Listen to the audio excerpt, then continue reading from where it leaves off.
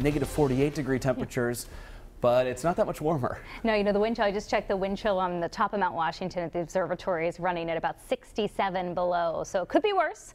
We are plenty cold around here, though, in southeastern New England. In fact, dipping below zero in a few spots. Now, Charlestown at one below. Got a report from uh, John in Burrillville, four below there. It's zero in Woonsocket. Coventry is hanging on at one degree. North Kingstown at about three this morning and eight in Little Compton.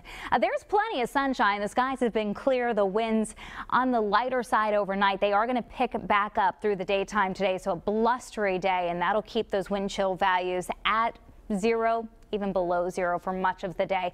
Right now in Providence, we're at five degrees, the wind chill running at about six. Other current temperatures that we have from our city cam this, uh, uh, this morning in Pawtucket, it is nine degrees there. And the temperature uh, with the winds give us a wind chill of 8 below. We've got a wind right now from the west at about 15 miles per hour. Newport running at 6 degrees there. The wind chill 9 below. The humidity is very low. Not expecting any rain or snow through the daytime today. Lots of sunshine, New Bedford, but the wind chill sub-zero this morning. This is what you need to dress for if you're heading outside, if you're sending the kids out to the bus stop.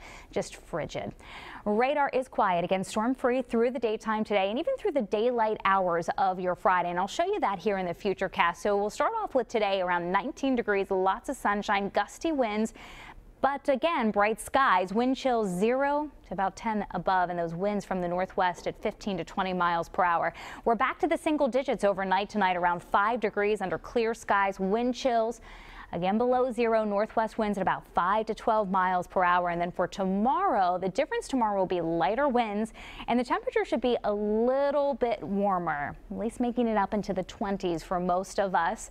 But we're going to see fading sunshine. So we start off bright, lots of sun, and then the sun fades as those uh, clouds roll in out ahead of our next weather system. Futurecast through the daytime today, lots of sunshine through 5 this evening. Should be dry but frigid heading home from work. And then the overnight again tonight, ideal conditions conditions to really see those temperatures bottom out once again in the single digits. Let's show you that seven day futurecast. This new seven day able to show you the most detailed information over a seven day period here that you can get in southeastern New England. We'll start off with today, 8 o'clock around 5 degrees. By lunchtime, it's only 15. And by the afternoon high, running at about 19 degrees back into the single digits overnight. Now, you notice I have snow in the forecast for late Friday into early Saturday. Let's detail that for you. So it's dry during the daytime Friday. Fading sunshine, snow in the forecast for overnight. Right now it looks like just a glancing blow. So we're talking about small accumulations. There's a chance of maybe some slightly higher amounts along the south coast right now. And by Saturday, early morning snow showers will give way to clearing skies. So most of your Saturday looks dry.